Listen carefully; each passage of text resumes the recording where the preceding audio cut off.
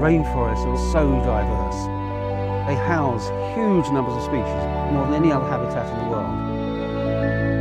There are thousands of species becoming extinct before we even know they exist. And with tens of thousands of acres of rainforest being cut down every day, we're losing a whole environment which can never be replaced. Soon there'll be very little real wilderness left. And it's projects like the ones that Puro are funding that make so much difference. About 10 years ago, Puro came to the World Land Trust because they wanted to help conserve wildlife in coffee-producing countries. And they've helped us build projects in many, many countries now, ranging from Brazil to Guatemala. In the Puro Reserve in Ecuador, tree with huge flowers being discovered. That's been named after our patrons, Sir David Attenborough, and subsequently two more species have been named after Puro in recognition of their support.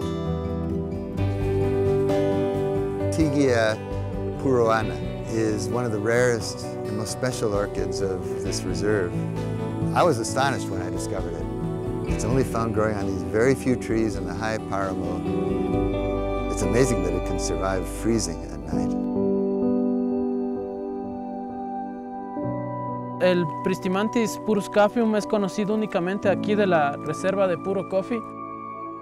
La primera vez que observamos esta especie de rana, no sabíamos que era una especie nueva, ¿no? La hembra tiene un café vino más oscuro y también el macho tiene una mancha sobre la barbilla que recuerda a un grano de café.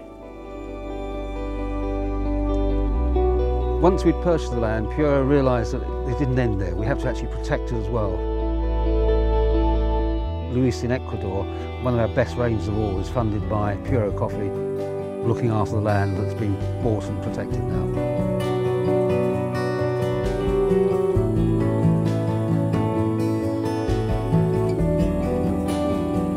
Two reserves that Puro helped protect in Colombia are habitat for critically endangered species. First is the cotton-top tamarin, one of the rarest primates in the world.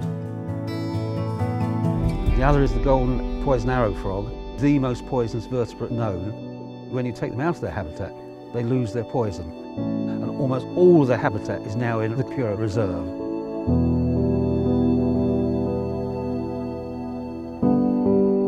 All of Puro's rainforest reserves have direct links to coffee farming. In Honduras, amazingly, the Puro Coffee Reserve also protects a water source for the neighbouring community who are coffee growers. And while that water was once contaminated, they now have a source of pure water and it makes a decent cup of coffee as well. Over the 10 years that Puro has been supporting the World Land Trust, corporate social responsibility for the environment has grown enormously and Puro has been one of the organisations leading the way.